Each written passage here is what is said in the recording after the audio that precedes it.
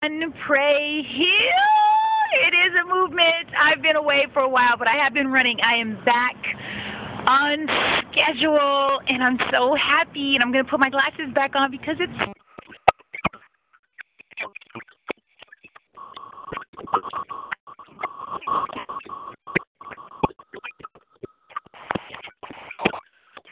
back in LA and uh, this morning I ran one mile in honor of my friend uh, Janice just so that she would stay uber positive and faithful beyond everything that she can see, everything that she can taste because we can hear it.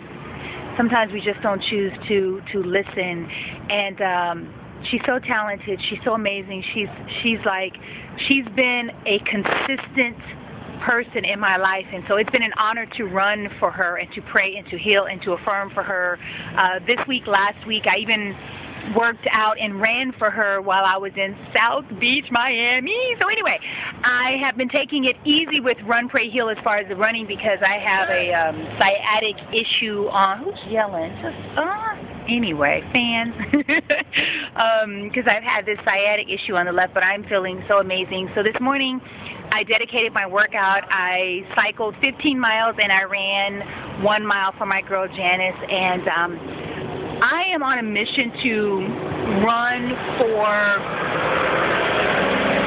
poverty. I am running in honor of those who believe that this this recession is an illusion and that people who used to be in the middle class and upper middle class who are now facing just the fear of poverty and lack, I am running and praying that we remove that from our psyche and that we as a community, as a culture, as a country not claim it. And I need your help. I need people to run, pray, and heal for. So please, please log on to my website, www.uniquephysiquesla.com, and also share. You know, this is a movement, it's free. I'm uh, looking to launch our bands, Run, Pray, Heal bands, um, in honor of those who are surviving cancer because I am running in honor of those and mainly uh, and initially in honor of my mother, Donna Marie Brooks. This is your